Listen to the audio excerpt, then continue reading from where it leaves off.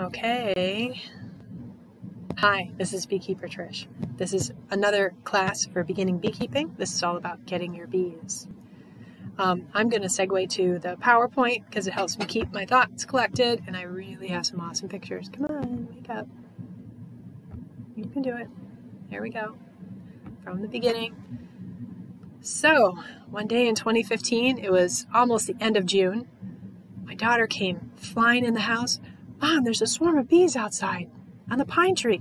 And we had just seen some friends who had a swarm of bees on their pine tree. And so I knew that you could just take your bare hand and a gardening tool. Veil is optional. Clip the branch they're on, put it in a cardboard box, and then go get some bee gear later. And that's just what I did. And the rest is history. I have a website where I have lots of stuff that's information for new beekeepers and stuff about alternative hive styles if you want to try something other than the traditional double deep setup. Um, if you're local, I have bees and bees and honey for sale. Okay, I'm on Facebook. Sometimes I post. And I'm on YouTube. Well, you're on YouTube too, so you know that. And if you're local, here's some of the spots that I'm at. All right, that's enough about me. Oh, almost enough. I have 15 honey making hives. Actually, I have 14 right now, but that's okay. We'll get back to 15 soon enough. And that's plenty for keeping the farmer's market and my other customers happy. And then I sell 15 overwintered nucs in mid April to early May, and that's definitely plenty for me. And through the year, I raise queens. Those are some pretty queen cells. I enjoy beekeeping.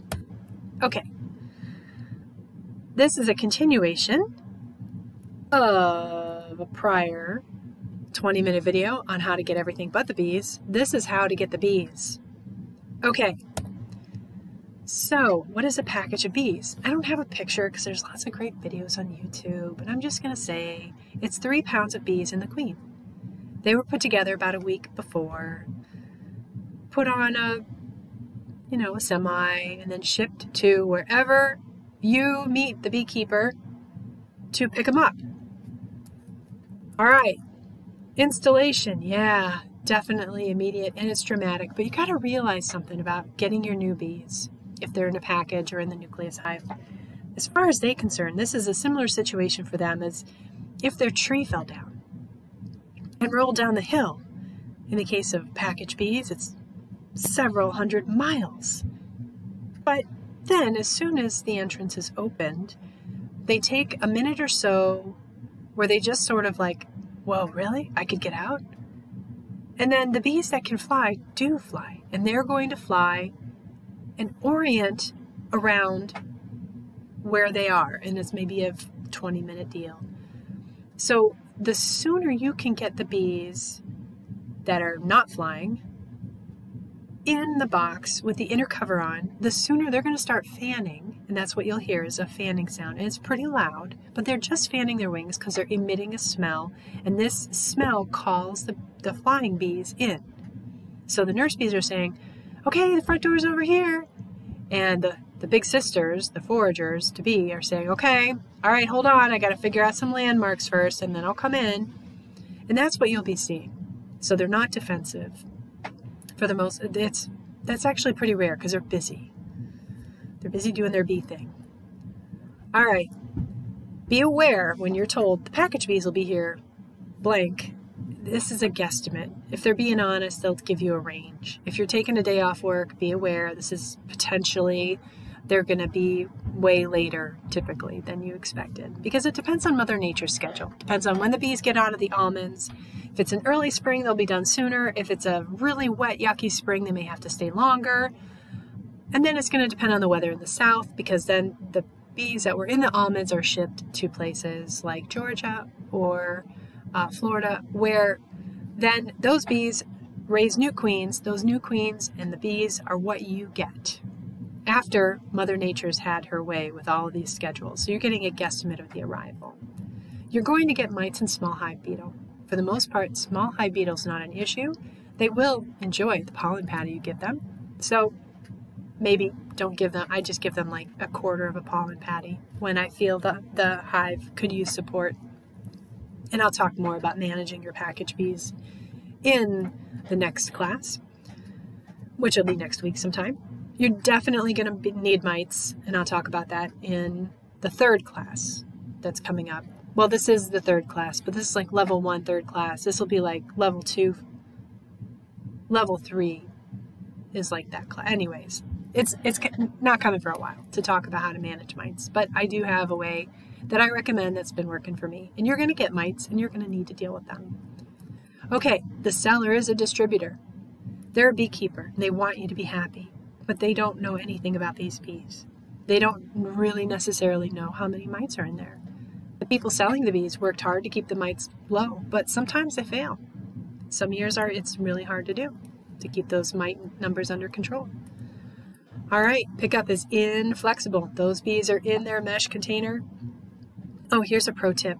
When you get them, bring a spritz bottle with you with um, like just a little bit of sugar in the water and kind of spritz, not so it's totally covered with water, but a fair amount. They'll be thirsty, and that helps them a lot actually before you put them in your car and transport them.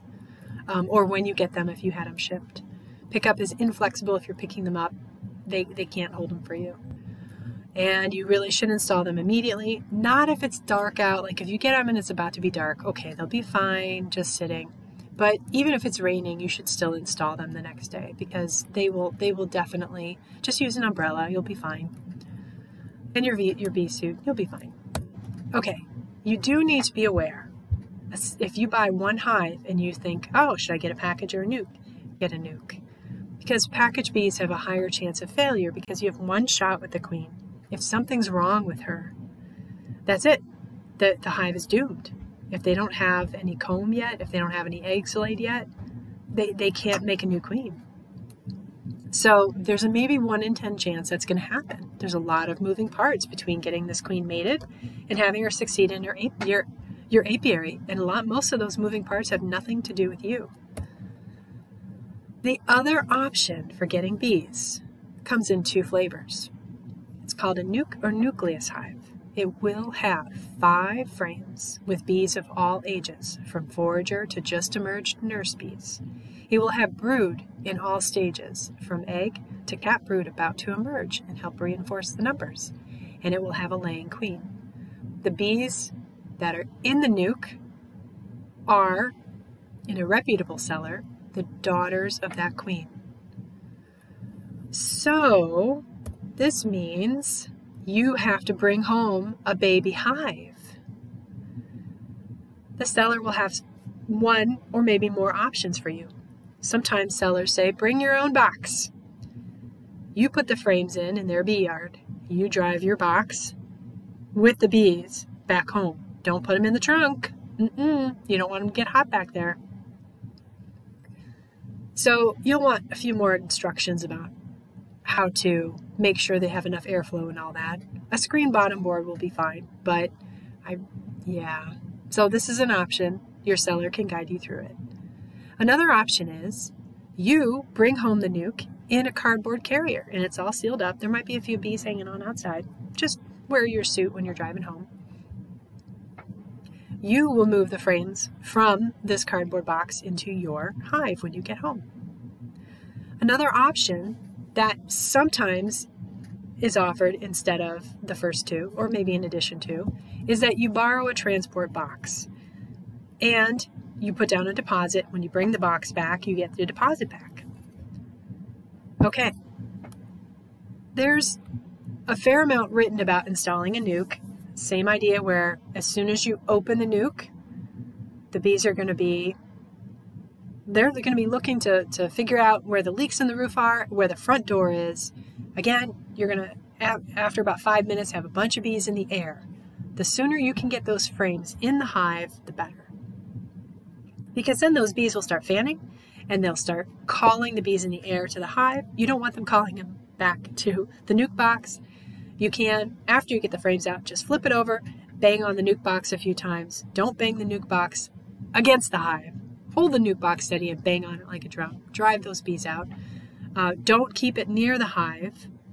The bees will smell the queen was in there and try to move back in. So it's better to try and shake those bees out. If there's a few left in there, take it away for 20 minutes, bring it back later and try and brush the bees out. Get that inner cover on as soon as you can to help the bees focus the smell coming from the front door. Okay, but they can fix their own issue. What does that mean? If, when you're installing, you kill the queen, or if you got a dud queen, or if she was somehow killed during transport or damaged during transport, there will be eggs and young larvae ready to be groomed to become a queen. And they can fix their own issues. If there was a lot of heat damage during transport, well, there's a lot of baby bees coming on that's going to be replacing the bees who might have been damaged. However, they can have brood disease in the comb. They can have more mites and more small hive beetle. This is, I would say, less common than package bees losing their queen, but it can happen. The delivery day can also float, especially if you're getting a southern nuc. You can sometimes set it on top of your hive and open the entrance to your to your nuc box and let them fly and then install them a day or two later if it's just not going to be good enough weather for that. You only have a couple days. You cannot wait more than that. They will they will start to decide they need to swarm because their hive is too small very quickly. So you have maybe a couple days. Nucs come in two flavors a southern nuc. That means it was put together in the south right after the queen has been checked to be successfully mated in a good brood pattern. They're driven up on a truck. So the delivery date's going to depend on Mother Nature and the mating dates and all the good weather in the south. But you you have to pick up your nuc. You have to go get it. So the seller is again a distributor. They don't know anything about whether there was a mite problem. They don't know anything about whether the queen may have been poorly mated or what her personality is like, you will have a choice of queen race. And you will again be buying from a beekeeper who's a distributor who wants you to be happy. And they are going to work with you, but they don't know the history of this, these queens in the same way as somebody who raised their nuc and sold it to you. And that's a local nuc. And the queen was raised from bees who survived. It's hard to breed from a dead queen. So, survivor queens might have slightly improved brood rearing tendencies compared to bees you bring in, but really, southern queens can do fine. I'm still here. Sorry, taking a drink. This, if you buy a local nuc, you're buying it from the beekeeper who raised the bees. They're not going to have the advertising budget. They're not going to have the volume either. They're going to have maybe five, maybe two for sale. Often, they're not available till June. But you can tailor delivery for the day and time that works for you.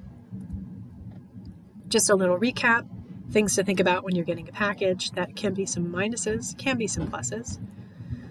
And a southern nuc, some differences there, where you have brood comb and I'll be with you in a minute.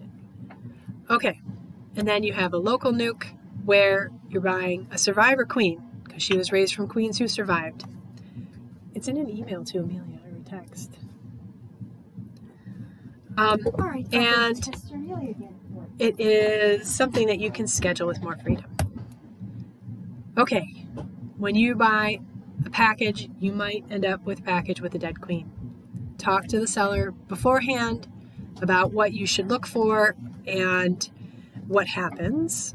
Talk if you're buying a nuc, you might see that there's problems already. You should look at what does what does a good, good brood pattern look like. You should if you didn't see the nuc frames when you were buying the nuc because they were all all um, buttoned up, then take pictures of each frame once you get it home. So you should talk to the nuc seller ahead of time about um, what kind of problems could you expect and what happens if you have these problems? Because the beekeeper sometimes does interesting things. It's not possible for any bee seller to guarantee their bees. And they all are beekeepers and want you to be successful. But people who are selling you a package or a nuc from the south, I mean, they can replace things, but they they didn't do all of the steps that brought you those bees. Okay, where can you get bees from? Check your local Beekeeping Club's website. In pre COVID days, you could go to club meetings and ask around, but you know, nowadays uh, there's virtual ones and it's a little more awkward to ask those questions. Okay, we're going to talk for just a few minutes about the bee races. What kind of bee should you get? Now these are races. They can they're just like humans where they have different color, but they're still bees, just like humans come in different colors. And unlike humans, bees are expected to have certain traits if they have a certain color. These bees are from my apiary. One is an Italian looking queen and one's a Carniolan looking queen. I have a variety of queen colors in my apiary. All of them are gentle, and they come from mothers who were who were uh, pretty good at making honey. And there you go. Whatever flew over the fence is their father. Italian and Carniolan queens that you buy, they are gentle. That means if you have a frame that's an inch up because you're trying to lift it out or trying to set it back in and then you drop it, you might get a few feet bees that fly defensively at you, but it's not going to be most of the hive. And they'll be good honey producers because they're bred to do that. The queens who weren't like that didn't get to contribute. Italians have a reputation for early spring buildup. Carniolans have a reputation for going through winter with a smaller population and then having explosive population growth. Italians have a reputation for being more likely to rob weaker hives. Carniolans, as part of their explosive population growth, growth have a reputation for being likely to swarm. Italians have been found to be hygienic when they're Italians from Italy. Carniolans, because of their smaller population in the winter, are said to be more likely to dial down their food needs if there's a dearth or be better able to handle less honey in the winter. What's it mean for you? Either queen can do great in Ohio. And as long as that queen was raised with proper care and she wasn't damaged in shipping, she'll be she'll be phenomenal. You'll be able to accommodate to an explosive population growth or to a hive that is big going into winter. You'll be able to do some changes to your management to handle that. There's some pretty hot titles of kinds of bees Russian bees, bees, survivor bees from Vermont, locally adapted. That's, I guess, what I would sell because I just sell whatever survived and made honey and mite biters, varroa sensitive hygiene. Yeah, it doesn't matter. This is a fun thing to play with after you have um, raised some of your own queens and know how to make a split. It's not critical to your beekeeping success. You need a queen that was carefully raised, that isn't swarm crazy. And some of that's genetic, but for the most part, you're going to get queens who aren't swarm crazy, that isn't defensive, and bees are bred to be gentle. You don't have control over these because that's whatever she came with. There is no miraculous miraculous mite immunity. You're going to have to manage mites, and I have videos about that coming in the pipeline. Success with the hive the queen and everything else depends on good mite control, good stores, and a good queen of any kind. You have control over number one and two. So, mostly success with the hive depends on you, not what kind of queen you get. I'm just going to say a few things now about studying up. Beekeeping classes are a great way to hear about beekeeping, to see people's thoughts about your beekeepers in your area. Um, you, the Ohio State Beekeeper also has Ohio State Beekeeping Association also has a web-based introductory beekeeping training program, totally online. It's not on YouTube. It is every facet of your beginning beekeeping, from putting frames together to inspecting a hive to getting ready for winter. It's great. There's like 50 plus videos that are fairly short definitely check that out if you like to learn by watching videos. If you like books, there's books. I like Backyard Beekeeping by Kim Flottum. There's a number of other books. Get them from the library first, or they're not that expensive, and you won't be sad if you have more than one. There's podcasts. They're not specifically devoted to teaching you beekeeping, what you need to know before you get the hive, though you will find some beginner posts. It's just great to hear about bees, and it's a convenient format if you're driving along or doing the dishes or whatever. There's some websites. Most websites are pretty short when they talk about beginning beekeeping. Here's a list of some, oh, and I should have put mine on there, that has more than one page about starting beekeeping. And if you go to chickabuzz.com, there's a list of these websites, and I think that's probably it, maybe a couple more, that have more than just one or two pages about beginning beekeeping. There's YouTube. YouTube is a mixed bag. This, of course, is an awesome YouTube video. Um, oh, okay, I'm done. I don't have any particular YouTube names here, but I do on chickabuzz.com. So thanks for listening and happy beekeeping. And so much to learn. It's kind of fun. All right. Take care. Have a good one. And goodbye.